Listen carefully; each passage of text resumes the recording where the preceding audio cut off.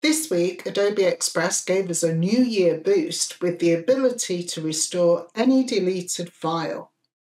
In case you're not familiar with how this works, here's a little test. I have a Delete Me graphic and I'll delete it here in Adobe Express.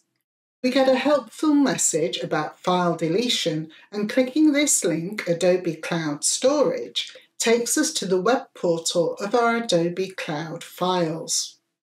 When you delete a file from Adobe Express, it goes to the deleted files in your Creative Cloud for 30 days. After those 30 days, the project will be permanently deleted.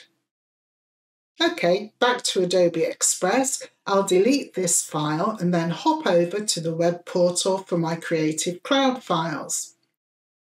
I'll select the deleted files and hey presto, there's our Delete Me graphic. It will sit here for 30 days, or I can choose to permanently delete it now, or restore it. I'll choose Restore and go back to Adobe Express, and there's our restored project. I'll open it just to make sure it's all intact.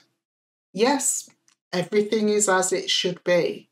Now, our mistakes don't have to be permanent in 2024.